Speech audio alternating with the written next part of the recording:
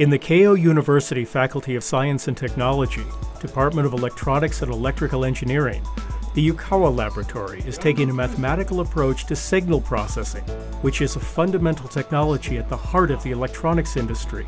and an indispensable element technology for the information society.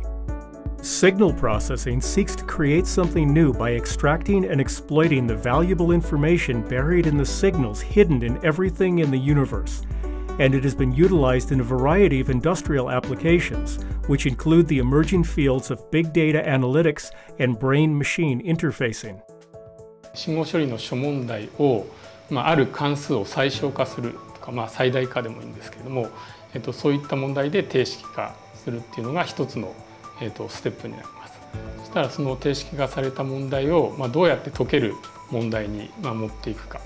でその解ける問題をどうどういうからくりで、えーとまあ、解いていくかですね。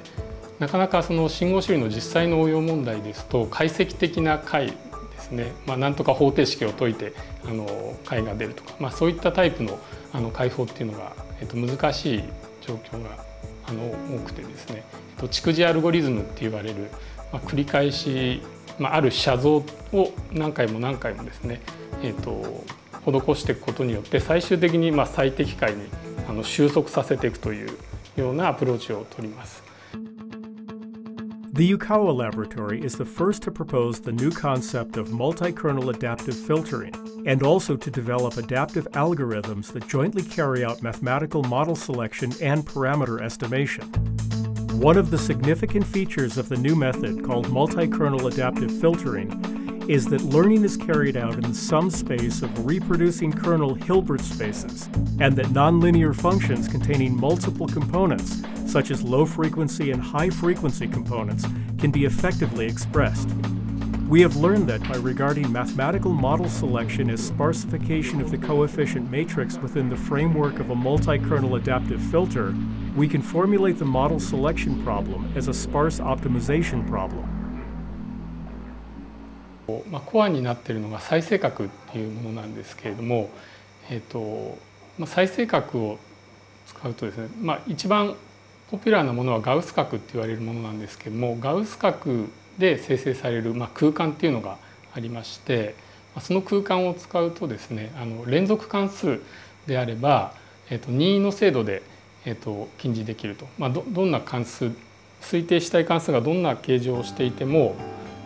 いくらでもいい精度で、えっと、近似することができるっていう、まあ、普遍性って言われる性質になるんですけどもそういったものがあります。で今回は非線形関数推定を適用的にやりたいんですけれども当然関数の形状っていうのはあらかじめわからないんですね。ですので、えっと、だけれどもそれが連続関数であればあのうまく推定できるというところが、えっと、ポイントになってきます。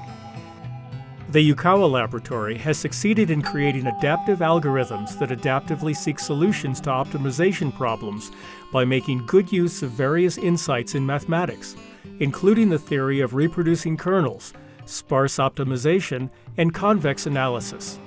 By further developing this new approach of unifying mathematical model selection and adaptive learning,